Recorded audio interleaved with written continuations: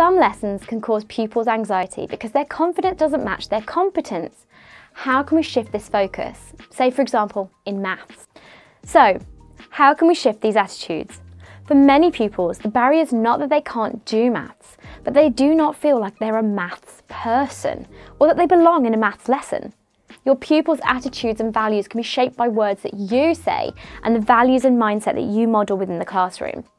As educators, the way we frame our language can transform attitudes and support changing pupils' outlook on maths.